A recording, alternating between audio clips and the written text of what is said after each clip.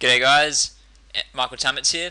Uh, this is a tutorial, um, is a remake of the um, first tutorials of the Maya plugin due to the due to some YouTube algorithm problem that caused um, quality in the video to deteriorate, and that the uh, scene um, didn't offer a like didn't show the true potential of the uh, Maya plugin.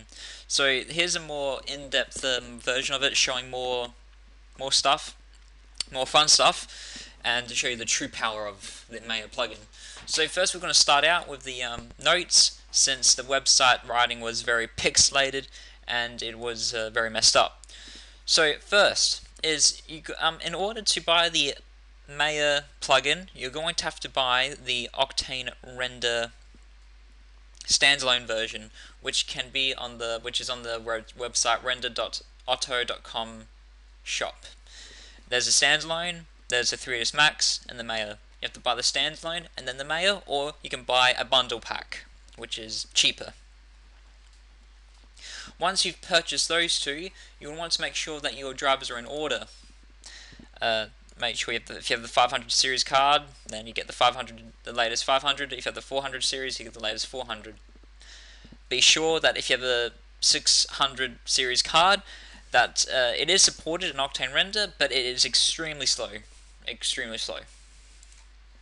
So, once you've purchased the uh, Octane Render Maya license, um, be sure to have Maya, um, the actual program, obviously, which can be um, found here. You can buy it or get a student license. To get the Maya plugin itself, you're going to have to go to the plugin um, support area in the forum this is after you have your you've been a, you've been awarded your purple named status um, and your ability to log in. Uh, the current one is for beta 2.58k.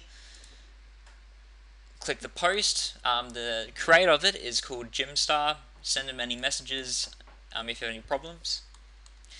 And here you have the um, download installer. So download that and install it. The installation is very simple. Um, uh, you're going to have to pick uh, which version of Maya you have.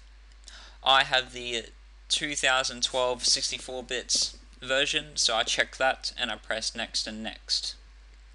Then finish. So, open up Maya and we'll get started.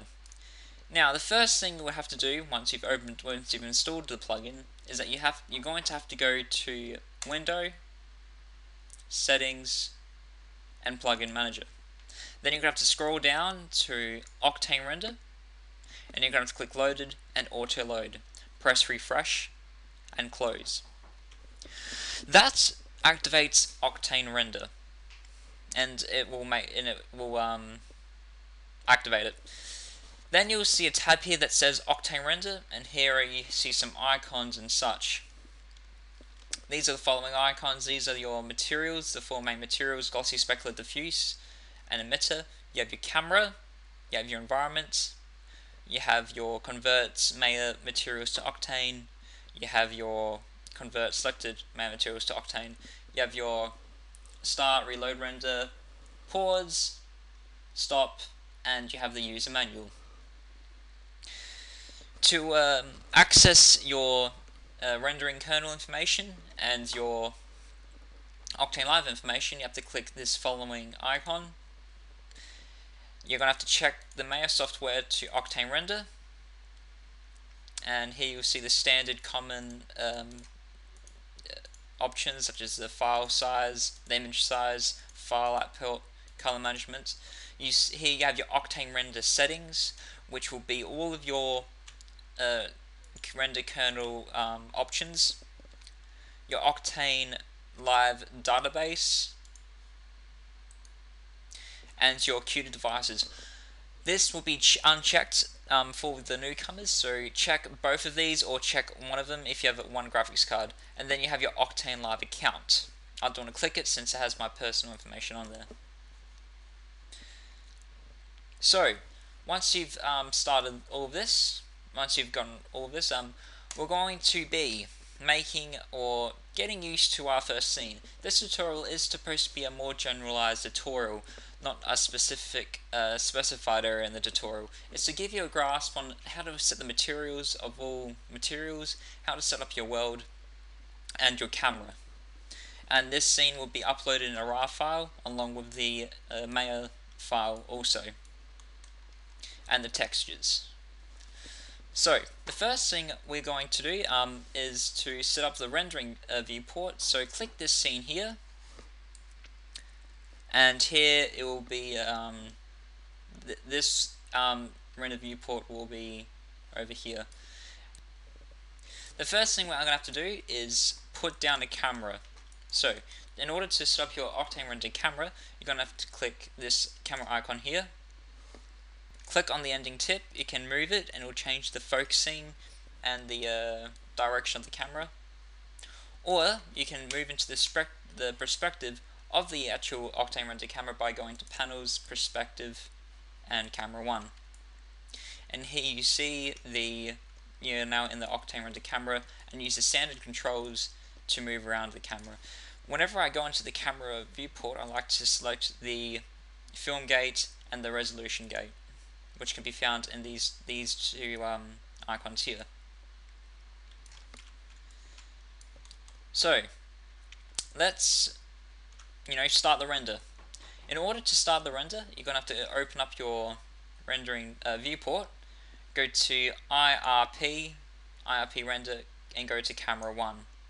Adding a sun sky node. So in order to do that, create, click the Octane Sun Sky environment and here you'll see a orange light. Press refresh and then it will show up in the render viewport. And as you can see any movement will be shown instantaneously. Now uh, for some reason the uh, field of view is um, out of focus so in order to do that you click out of it, click on your camera.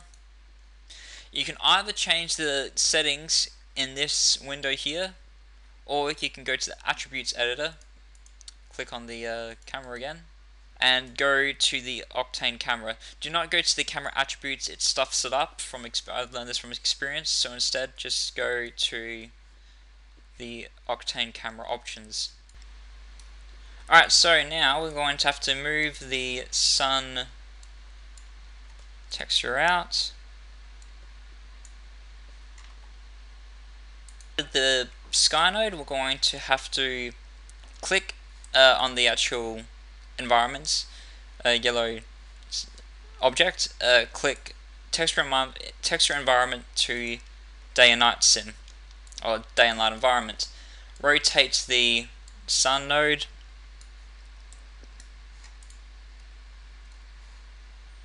Down.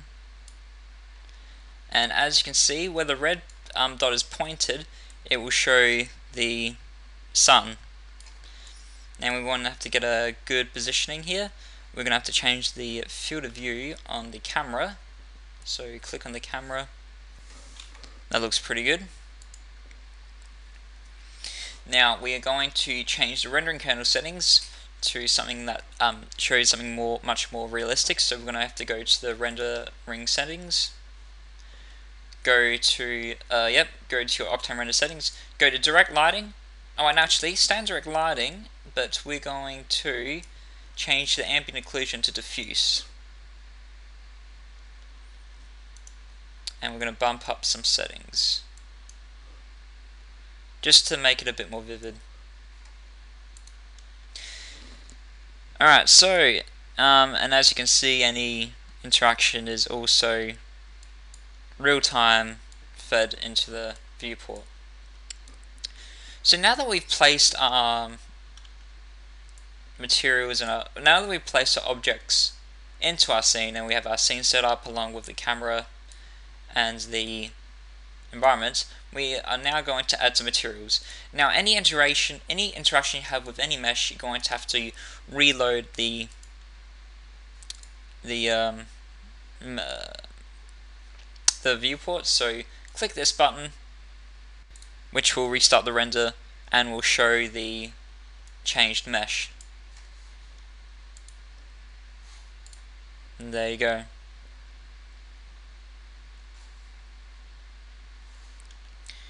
Okay, so now the first um, to in order to put down materials, we're going to have to do the following.